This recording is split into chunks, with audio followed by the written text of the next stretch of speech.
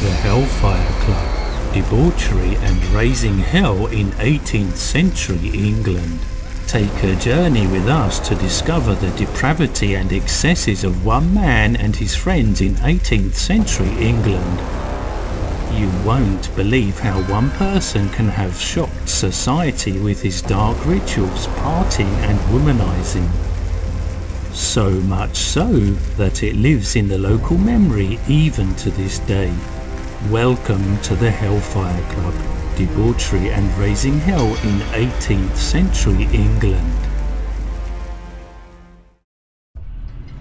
The beautiful English countryside is a picture of tranquility. But this corner of South England near High Wycombe hides a dark past and a sinister secret lies beneath this seemingly peaceful church. These are the Hellfire Caves, a network of man-made caverns.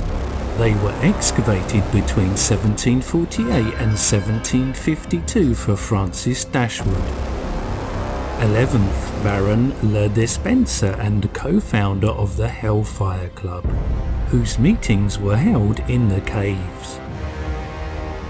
The caves run deep into the hillside above West Wycombe village and directly beneath St Lawrence's Church and Mausoleum, which were also constructed by Sir Francis Dashwood around the same time the caves were excavated.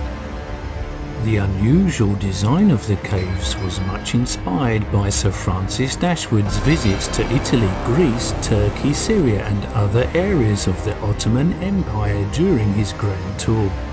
The caves extend a quarter of a mile or 400 meters underground, with the individual caves or chambers connected by a series of long, narrow tunnels and passageways.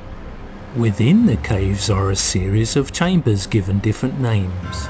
The Steward's Chamber and Whitehead's Cave, Lord Sandwich's Circle, Franklin's Cave, named after Benjamin Franklin, a friend of Dashwood who visited West Wycombe, the Banqueting Hall, the Triangle, the Miner's Cave, and finally, across a subterranean river named the Styx, lies the final cave, the Inner Temple, where the meetings of the Hellfire Club were held and which is said to lie 90 metres directly beneath the church on top of West Wycombe Hill. In Greek mythology, the river Styx separated the mortal world from Hades and the subterranean position of the inner temple directly beneath St. Lawrence's church was supposed to signify heaven and hell. The caves were used as a meeting place for Sir Francis Dashwood's notorious Hellfire Club in the 1750s and early 1760s. Members of the Hellfire Club included men from all corners of the political and social elite of British society, including politicians, governors, landowners, doctors and poets. 18th century figures included William Hogarth, John Wilkes, Thomas Potter and John Montagu, 4th Earl of Sandwich. Though not believed to have been a member, Benjamin Franklin was a close friend of Dashwood who visited the caves on more than one occasion. According to Horace Walpole, a politician of the time, the members' practice was rigorously pagan. Bacchus and Venus were the deities to whom they publicly sacrificed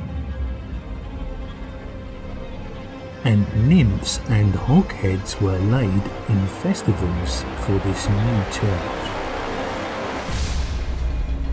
Dashwood's garden at West Wycombe contained numerous statues and shrines to different gods, Daphne and Flora, Priapus, as well as Venus and Dionysus.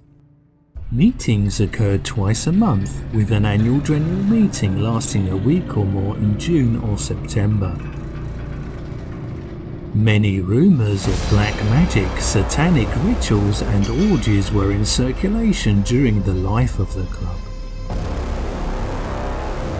Dashwood's club meetings often included mock rituals, lewd materials, much drinking, wenching and banqueting. The early 1760s saw the downfall of Dashwood's exclusive club and the Hellfire Club had been dissolved by 1766. The caves were disused before eventually becoming a World War II air raid shelter.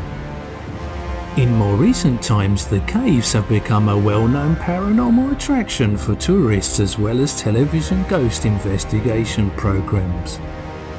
Ghosts said to have been sensed include those of a young girl dressed in white and the spirits of nuns. Perhaps they are the ladies of the night known to have visited the club in disguise to entertain gentlemen. Witnesses have seen orbs and have heard crying and knocks. Would you dare visit the Hellfire Club? Thank you for watching. If you enjoyed this video, please give it a like, subscribe and share.